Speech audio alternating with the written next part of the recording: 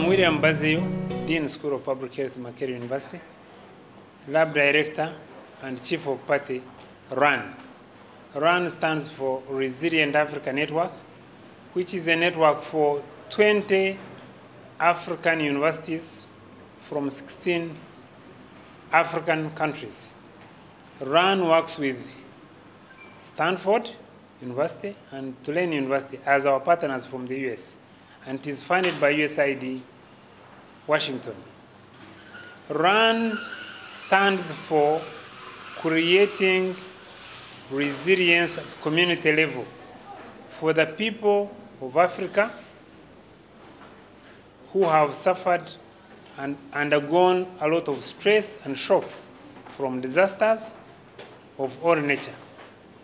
RAN started November 20, 2012 in response to the RFA that was set by USAID. RAN is prepared to create resilience for the people of Africa. We will use universities to go to the communities. We are taking the universities from the university to the communities, using our students and faculty to go down to the communities, see what hurts our people, and then come back to our labs and design homemade innovations. And we go back to the communities and we implement them.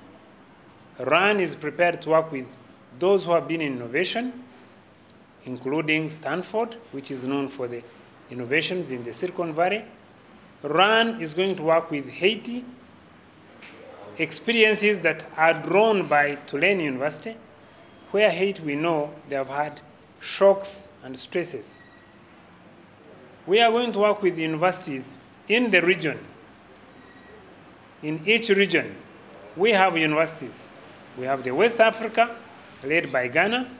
We have the Horn of Africa, led by Ethiopia. We have East Africa, led by Uganda, or Makerere. And we have South Africa, led by University of Pretoria. The purpose for distributing these regional labs, what we are going to call the labs of innovation, is because we want to cover the whole of Africa. An innovation out of Ghana will serve the purposes of people in Ghana, Mali, Senegal, Burkina Faso, and other countries of that region. An innovation out of Ethiopia will serve Southern Sudan, Somalia, and Kenya. An innovation out of Uganda will serve Uganda, Kenya, Uganda, Tanzania, Rwanda, and the DRC.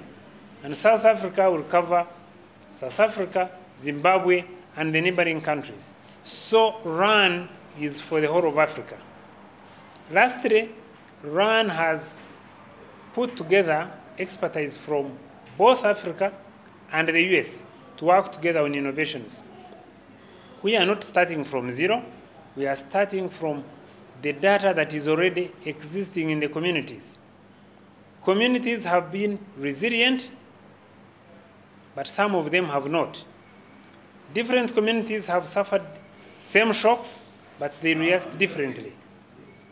USAID and US government has invested a lot of dollars in Africa to fight or to help communities to become resilient. We are building on that.